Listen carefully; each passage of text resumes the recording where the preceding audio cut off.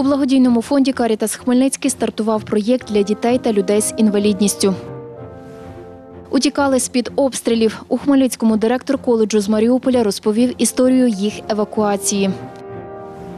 Хмельничанка-дослідниця збирає старовинне українське вбрання. Скільки національних струїв налічує колекція.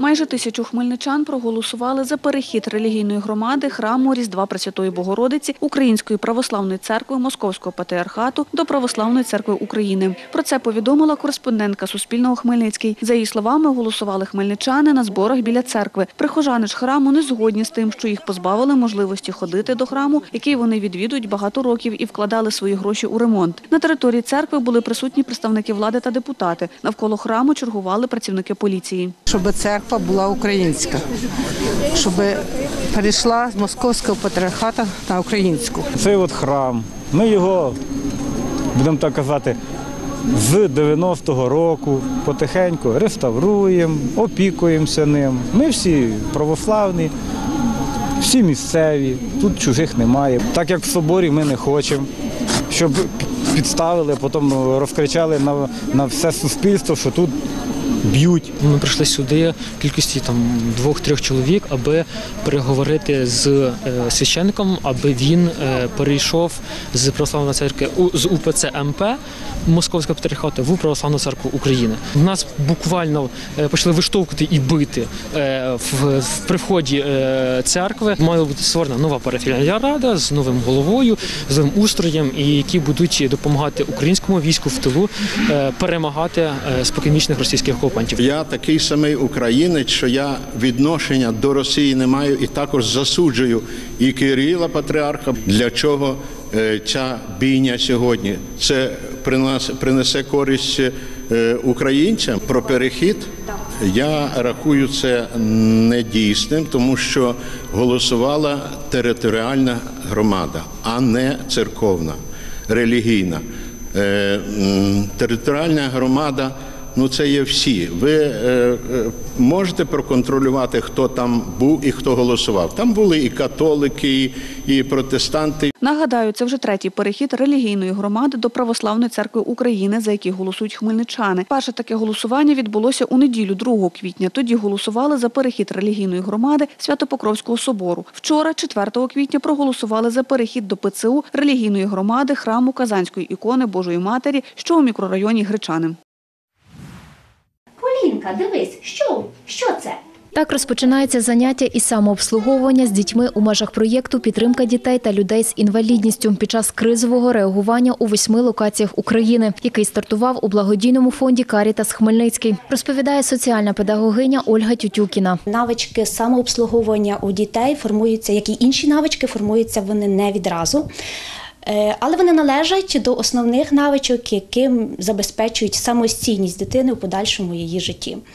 Е, Застилати ліжко, ем, вимити руки, почистити зуби, е, прибрати за собою іграшки. Це далеко не весь перелік того, що- має вміти дитина.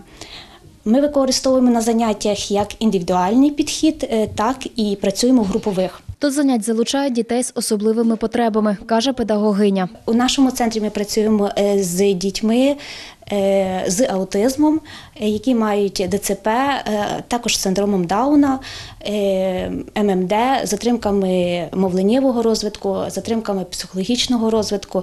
Тобто діагнозів е, досить багато, вони різноманітні, але е, все під силу нашим дітям. У цьому центрі із соціальними педагогами десятирічна Поліна займається 5,5 років, говорить бабуся дівчинки Алла. Дитина е, була трохи така неадекватна, поведінка була негарна, але поступово з часом почали займатися. Вже навіть речення почали е, говорити реченнями. Результат зараз трошки кращий. Хотілося б більше, але нічого, трохи вже в школі займається, сидить, пише щось там. Читає. За словами Ольги Тютюкіної, найкращий результат можна побачити тоді, коли батьки, діти і фахівці співпрацюють разом. На заняттях навчають, а вдома закріплюють здобуті навички. Після заняття із самообслуговування учениці відвідують фізичну терапію. Проводить її фізичний терапевт Віталій Перфільєв. А ногами робимо ножиці. Робимо раз, два.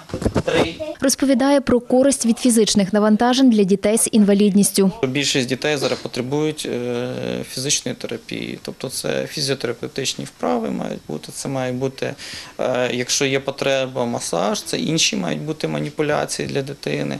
Тобто, все в комплексі воно дає нам е, гармонійно потім розвинену дитину. А також можливість коригувати нервові якісь проблеми, чи можливо це інші якісь вади, які діти мають. Тобто, це все відкориговується досить непогано. Фізичною терапією у центрі практикують як індивідуально, так і у групах, говорить Віталій Перфілєв. Зазвичай добре, коли йде, наприклад, індивідуальна робота. Якщо немає можливості тої індивідуальної роботи, можна підгрупова, групова робота. Дитина дивиться на інших дітей, наслідує їх, що дуже важливо. Тобто йде е, наслідування, мімікрія така. І як наслідок потім ми маємо те, що дитина опановує ту чи іншу навичку. Так само стрибки на батуті. Якщо одна дитина стрибає, а троє на неї подивляться, вони спробують зробити те саме. За словами соціальної педагогині, загалом реабілітацію у центрі проходять майже півтори сотні дітей. Валерія Ковальчук, Дем'ян Цегольник, Суспільне новини, Хмельницький. 45 студентів зараз навчаються в Маріупольському будівельному фаховому коледжі. Частина з них дистанційно. Заклад тимчасово переїхав до Хмельницького через повномасштабне вторгнення Росії, розповідає директор Антон Білай. До початку повномасштабної війни у коледжі було 569 студентів. Втікаючи від війни, вони виїхали з Маріуполя. Наш студент один в Японії, дівчина в Австралії, деякі студенти на території підконтрольної уряду України, а деякі навіть є на непідконтрольній. У перші дні вторгнення поряд із будівлею навчального закладу окупанти нанесли два авіаудари, розповідає Антон Білай. У будівлі вибуховою хвилею вибило вікна та двері, пробило три отвори в покрівлі спортивного залу. З 86 осіб колективу одна жінка Вахтер коледжу загинула, яка до останнього продовжувала, е, ну будемо так казати, е, не то що захищати, а слідкувати за коледжем. Вона знаходилась в сховищі і, на жаль, була розстріляна окупантами. Під обстрілами, розповідає Антон Білай, він носив їжу студентам в гуртожиток. Оскільки 1 березня електроенергія в місті Маріуполь зникла, приготувати їжу студенти вже собі не могли, особливо сироти. Тому разом з дружиною ми варили відро супу 12-літрової маляроване і го- годували хоча б раз в день е, гарячою, ну, гарячою їдою. Антон Білай каже, спробував виїхати на підконтрольну Україні територію самостійно, щоб евакуювати студентів, викликав поліцію. 5 березня досить складними зусиллями, але в принципі за допомогою патрульної поліції міста Маріуполя вони на броньованому автомобілі були евакуйовані до сховища е, технічного університету. Дітей сиріт було четверо, один повнолітній, іншим 15-16 років. Через інтенсивні обстріли, розповідає студент Маріупольського будівельного фахового коледжу Іван, на новому місці не почувалися в безпеці і з братом пішли із прихистку. Нашего блокпоста уже не было, был э, российский блокпост. Мы его прошли, нас проверили э, наши вещи, документы, э, тело, чтобы не было никакой символики. Іван каже, брата відпустили, бо повнолітній. Він зумів дістатися з заходу України. Інших студентів забрали в тимчасово окупований Донецьк. Мы с Максимом говорили, то, что мы хотим э, к своим родным, мы хотим в Украину, это не обговаривается, мы всегда так только говорили. Нам, да, конечно, предлагали э, новое училище, новые жилья, ну, общежитие, место проживания, там, стипендия, выше крыши. Ну, мы все равно отказывались, у нас была только одна цель. Іван розповідає, два місяці пробув у Донецьку. Йому вдалося зв'язатися із Антоном Білаєм. Как у меня появился интернет, я связался с Антоном Викторовичем, э, связался с э, по территории интеграции оккупированных территорий, получил, на го- позвонил на горячую линию, объяснил все как есть. Директору дозволили забрати дітей-сиріт як законному опікуну. Каже, поїхав не вагаючись. Ми вже з хлопцями були на зв'язку, і одного разу, коли мені зателефонував Іван, е, безпосередньо він почав плакати в трубку і казати про те, що Антон Вікторович, я вас дуже прошу, заберіть нас звідси. Звичайно, можна було оформити на когось на іншу людину довіреність, але це тим самим свою відповідальність перекладати на когось, тому ні. Кілька днів тривала дорога з Донецька, каже Антон Білай. Зараз студенти живуть і навчаються у Хмельницькому. Вікторія Мельник, Віктор Кривий, Суспільне новини, Хмельницький. Хмельничанка Ксенія Малюкова – дослідниця та збирачка старовинного українського вбрання. Її колекція налічує 130 національних строїв з різних регіонів України кінця 19-го, початку 20-го століття. Ксенія наразі проживає з родиною у Києві. Відеозв'язком зі столиці розповідає.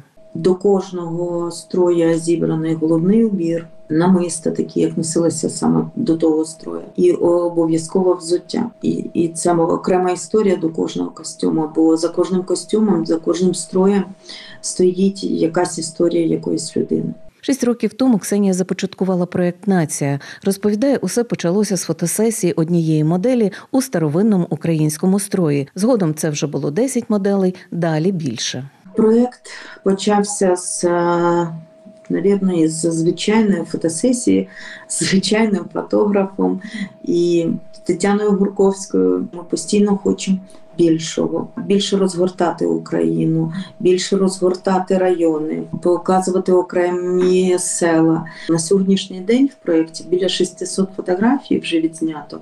Ну то, що ми залишили, то що ми показуємо людям. На показах та фотосесіях демонструють старовинне вбрання наших прабабусь та дідусів українські актори. Проект Нація бере участь у благодійних заходах. Зокрема, нові сміливі діти, нова нація на підтримку онкохворих дітей лікарні Охмадит, який відбувався у Київському національному академічному театрі оперети, розповідає керівниця. На сцену вийшли 25 областей України, і знаєте, неперевершені такі відчуття, коли Україна єдина. От в той момент на сцені саме це і відчула. Дуже б хотілося, щоб це було дуже знаково для нас, що всі області єдині в один момент. А це, це день перемоги. Я точно знаю, що він не за горами. Збирачка та реставраторка національного обрання каже, у старовинній вишивці прикраси головних уборах закладено код роду, енергетику наших пращурів. Це спадок, який нагадує нам, що ми українці, що ми маємо бути сильними, такими як були вони. Проект Нація з першого дня повномасштабного вторгнення підтримував людей. Я постійно постила в себе на сторінці старовинні строї тих місць, де відбувалися в той момент бої. Я весь цей час знаходилася саме тут, в Києві. Я нікуди не виїжджала. Мені треба було підтримати свою сім'ю, бо в мене діти служать. І тому я рахувала, що я маю бути тут разом з колекцією. Колекція теж нікуди не вивозилась. На підтримку збройних сил України фотопроект Нація помандрував світом. Наразі відбулися презентації у Бельгії у місті Гент та в Італії у Генуї. Ксенія мріє про перемогу України і про те, що колись вона відкриє музей старовинного вбрання у рідному Хмельницькому. Я дуже мрію, що колись в нашому місті ми відкриємо класний музей, куди будуть ходити наші е, діти, онуки, і ми їм будемо розказувати про нашу історію, бо діти мають її знати. Наталія Поляниця, Суспільне новини, Хмельницький.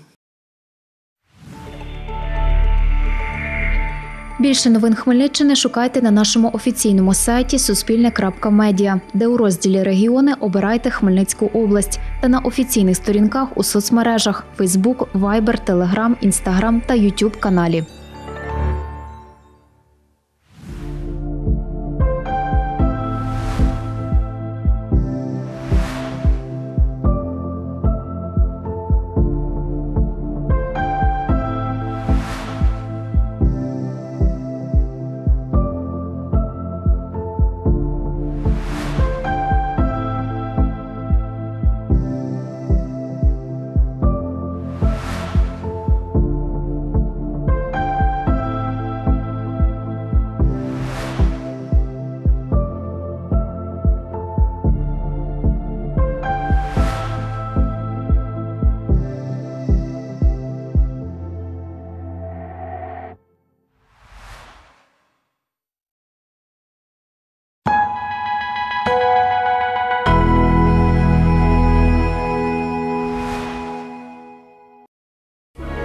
Час дізнатися найважливіші спортивні новини від команди Суспільне спорт.